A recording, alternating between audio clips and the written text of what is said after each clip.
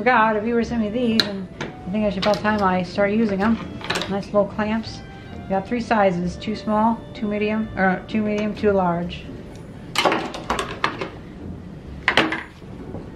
Now unfortunately I noticed that this saw cuts at an angle and I suspected this but I finally realized that the teeth are actually bent.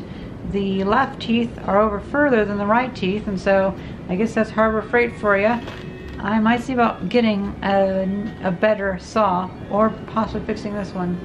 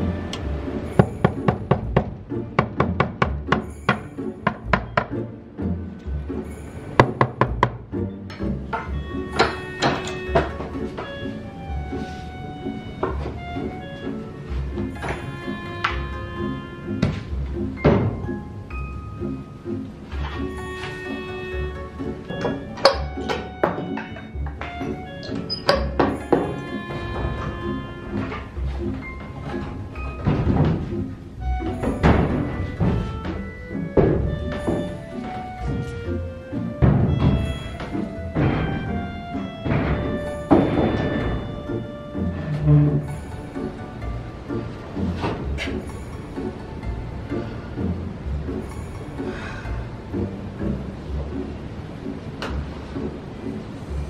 2x4 is a bit thicker than the modern ones I use, like, I don't know, like a couple millimeters. But that's just enough to make it really difficult to slide through there. And I realized it'd be okay for the thinner piece. It doesn't have to be a 2 inch piece or a 2, uh, 2 by or whatever. So I'm going to use some of these thinner sections which I didn't have a use for before.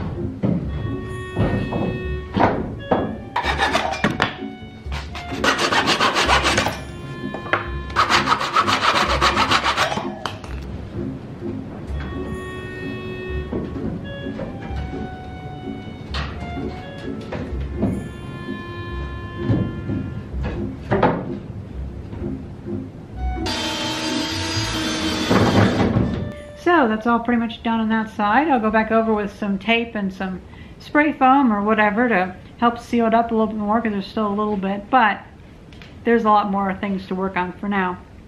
So first of all, we have the, uh, the corners of the workshop still have like three inch slits in them that wind just comes right in. So we're going to fix that, but that'll be another video. But in this video, we should focus on this side of the workshop. Now that line up there, it's like um, about half, about half the thickness of the other side, and it's not on the side where the wind blows in, but whenever I stick my head up there in that crack, I still feel some wind blowing in. So we're going to definitely have to fix that. So with this side closed up, I've noticed that the temperature has increased by a few degrees already because the heat from the stove was kept in longer, which is pretty good. So I went back and forth between different designs for this side. Like I started with the vertical pieces on the inside, then I tried some pieces and with some on the outside. And honestly, we're having to go inside and outside was just too much of a pain in the butt. So I'm gonna go with screws from now on because you can screw through and then pull the thing in. And so you can do all the work from the inside. And I hope I can do all the work on that side from the inside. Because the wind is brutal today.